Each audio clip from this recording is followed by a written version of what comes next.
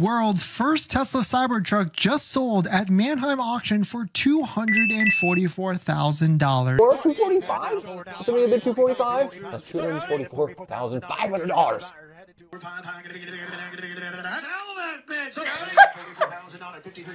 Yeah, like Why- I said, they're they're colorful. Why can't we So- do that at Barrett-Jackson?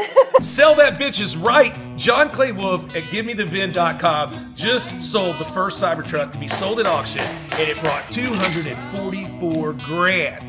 That set the market. They're well, they're a quarter million bucks. Check GiveMeTheVin.com if you want to sell one of your rides because he's buying and he's selling, obviously.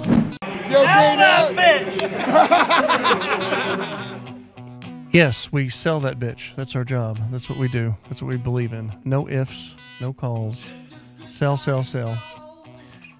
So the reason that this Bradford pear tree is behind me, there's a story about the tree, young grasshopper. The tree blooms every year when the spring market comes in.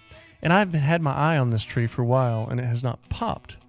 I actually wasn't quite expecting it to yet, but on Monday I was watching it and I noticed it was starting to head up pretty good.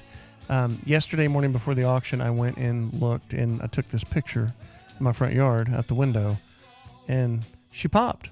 And that means nothing but hang on to your ass, the market's fixing to jump. And it could not have come at a better time because we were loaded, loaded, loaded Wednesday at the auction with heavy merch. We did 35 million on 900. That's like 38 8 per car. That's a lot. That's a high average. We're normally running like 32, 33 um, grand a car on average. I mean, look at these cars. We sold every single solitary one of them. 35 mil. We haven't done that in a while. I mean, it almost felt COVID esque. It was exciting. Having that Cybertruck in the lineup helped because so many people were watching. So our attendance was on lane 20 was 675 online, which is great. I think that's a record. I think the highest we've ever had before was 640. But this um, spring has sprung, ladies and gentlemen. Car dealers. This is a car dealer vlog, by the way. If you're public and not car dealer, please turn it off. You're not allowed to be here. It's just for the cool kids. Uh, funny story. So yesterday, we had two buyers saying that they'd bought another Tesla truck, and everybody was excited. I think they were given 138 and 130. I'm sorry, yeah, 187 and 188, and they both stocked them in. And the lady at the office sends out an email during the auction and said, "How can two guys buy the same truck, same VIN?" And this is the kind of chaos that happens when markets move like this Tesla truck. So it turns into a money grab. And everybody's got a broker and everybody's got a guy and everybody's calling Cunningham and everybody's calling Big Shot Bob and Abdullah and all, all the guys that work for uh, Give Me the VIN because they know they can get their money right now. And they sell us these cars. And, and we get, like on deals like this, sometimes we go through not brokers, but brokers, wholesalers that are passing through and they're trying to pick up their five grand. And this uh, there were two people on this one Tesla, and we bought it from two different places to the point that we stocked both of them in, and um, we worked it out between the buyers. But a- another weird story. So look at this Rolls Royce. I hate to admit this. We never, ever, ever, ever, ever do this. Ever. It's against our religion. But there was a, a good buyer, a good dealer, that was calling and just panting over this car, and we sold it to him the day before the auction and it was sitting in the auction barn yesterday. And another really good dealer was like, "Is this car pulled or what's the deal?" And I found out we sold it, and I'm like, "Why'd we sell it?" And he had to have it, and this and that. So the other dealer said, "Hey, I'll give uh, X for it," and that was ten thousand more than what we sold it for. So I let the guy know. I said, "This is why we don't pull cars from the auction. Um, let them fight over them. You never know which one's going to get goofy."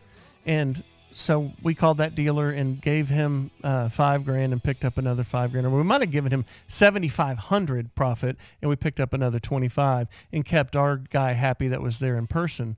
But um, those little weird things I'm telling you about is sign of a spring market where people start grabbing and, and clawing and spitting and chewing and swinging. They're bidding on top of each other. It's not gone bonkers, but it felt right. It, it was good. So that's exciting. Spring has sprung. Um, I'll tell you what, what I noticed is um, sports cars real good. Back to the specifics, back to the lanes. Sports cars doing really good. Half ton trucks doing very good. Uh, a standout yesterday was SUVs full size. and not the new ones, but like the twenty thousand dollar ones and the thirty thousand dollar ones. Um, those expeditions that we've been selling, like you know, five grand back of MMR, and MMR drops five grand, we sell it four grand back of that, and it's like, man, these expeditions are worthless compared to Tahoes, Yukons, and Escalades. Well, there's a huge NADA book on them, and they're catching up. So they started growing back. When when when order buyers start hitting the stops on the cars they want, which are the GM full size SUVs, they start leaning back into other cars that they think they can sell. Same thing goes with Carfax. We don't want any bad Carfaxes. We don't want any bad colors. We won't take any miles over forty thousand dollars. We won't take any CRs under a 4.0. We won't. We won't. We won't. We won't. We won't. Well, guess what? Now the market's coming up, and you will. I won't bring a fat girl home from the bar. Yes, you will, when you have no other options. So we haven't gone into full grown two o'clock beer 30 market, but it's it, will happen. it always happens. It goes from one strike to a two strike to a three strike, then backs up three, two, one. And I started seeing some of the strikes come out of the system. Muddy colors, brown, or, you know, minor on the facts, little fact, Carfax this, you know, CR's a 3 6, not a 4 1. Well, these order buyers go to fill their orders and they come home with nothing, and then their dealers are like, okay, what are we doing wrong? Well, boss, I couldn't touch these, and I have hard orders not to buy in this space. We're like, well, let's back it up a little bit. So the rest of the market starts filling out, and we don't have to throw the expedi- uh, expeditions away and puke on ourselves. When Jeep Gladiators start bringing decent money, that's when you know we're in a spring market. Because Gladiators, all Chrysler products, Stellantis, I mean, they're overbuilt, oversold, undersold. Um, that that is a that is definitely the loser of the pile as far as the Vindex is concerned. I don't have a actual Vindex number for you guys yet, but I'm working on it to actually like have a Dow Jones Standard and Poor's weekly Vindex number that we use that we talk about every week. I'm working, I'm working, I'm working on it. but Manheim was pissed about the Cybertruck because the press is everywhere.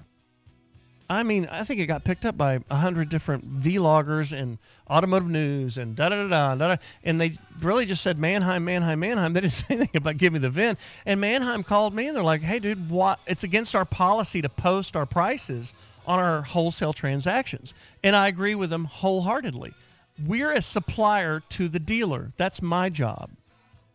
They supply the public us showing their prices does not help them do their job. So that's why you never really hear me talk about we sold this car for this. And I don't put that out on a public forum because that dealer that bought that car for 63,000, he might not want everybody to know that he bought that car for 63,000. So I can't talk about that. But on this Tesla truck, dude, people at Tesla were watching it sell.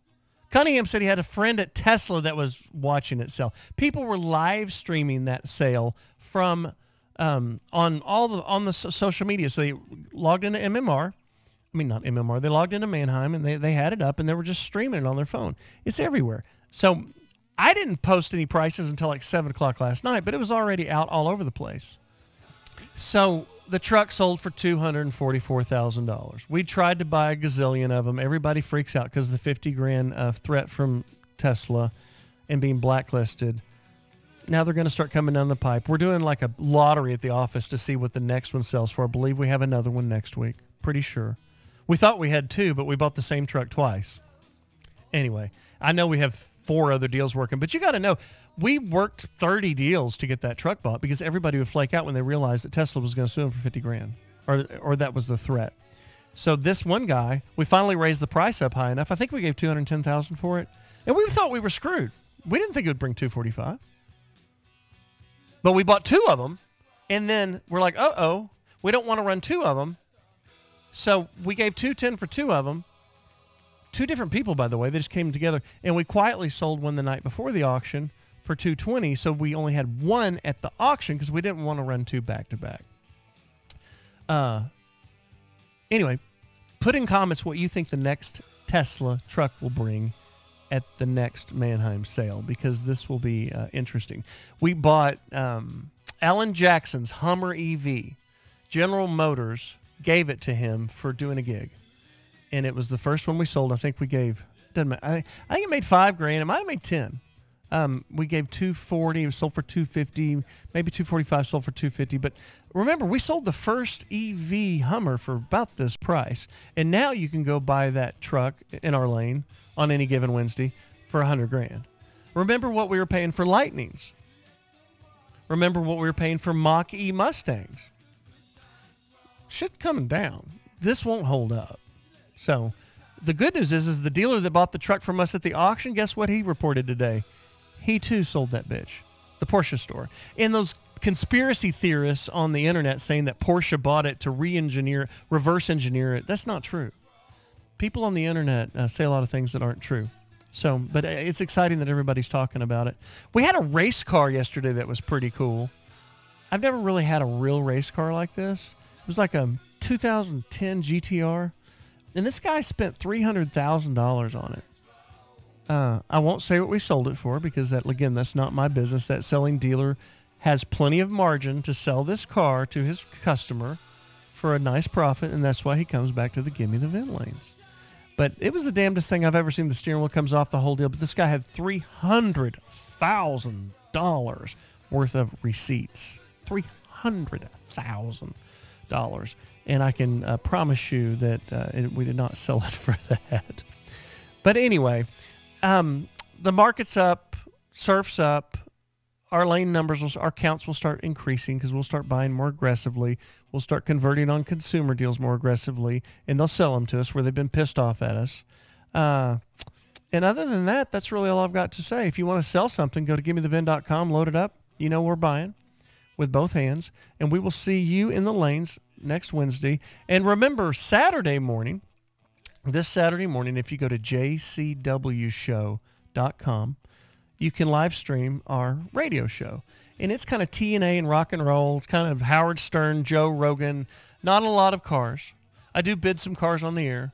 But if you like bad humor and mildly offensive humor, then um, tune in, or you can go to jcwshow.com and click affiliates and just there. We're on 66 radio stations around the United States Saturday morning from 8 to noon, or you can just stream it at jcwshow.com.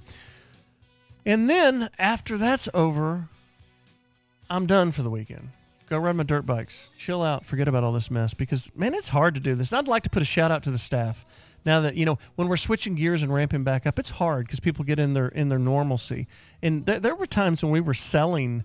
The highest I think we ever did was 1,700, but like we were regularly running and selling right at 1,300 cars a week, and we have not been doing that because the market hasn't been allowing it. Uh, but we're moving back that way. But I appreciate all the staff of Gimme the VIN. It takes 200 people to run this thing and all the buyers and all the late hours and all the recon and all the transportation and all the title work and all the accounting and all the money and all I got to have a wire. And we've got 32 offices around the country. You got an and, and customers are standing there and they need a check right now and it's Saturday and it's West Coast, right? So it's nine o'clock here, but it's seven o'clock there, and our guys have to get a check over to them right now and and deal approval has to approve all the title work and their bank wiring instructions wrong and just all this crap. It's it's a tough gig, man. It's a tough gig, and uh, everybody that works with us does a great job. And I know that you guys can understand that because you're dealers and you feel it too. I you know I remember what it's like to sell 20 cars a week, much less a thousand. Uh, it's it's uh, what's Cunningham always say: cars don't sleep. Wholesaling ain't easy. Him and Brewster, they're right. It's a tough gig. See you on the radio Saturday morning. See you in the lanes next Wednesday. Thanks.